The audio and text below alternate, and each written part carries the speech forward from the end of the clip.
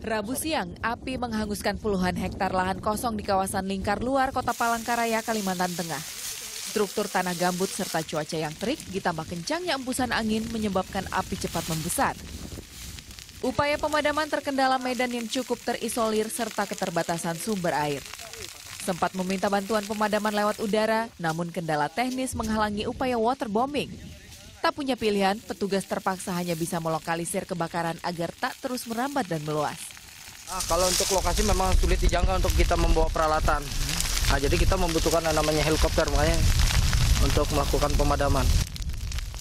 Dari catatan petugas, sepanjang hari Rabu terjadi tiga kali kebakaran hutan dan lahan.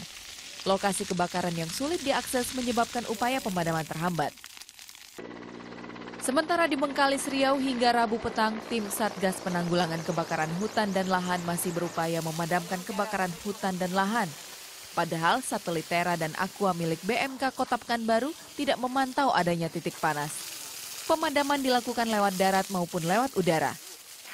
Tim Liputan melaporkan untuk NET.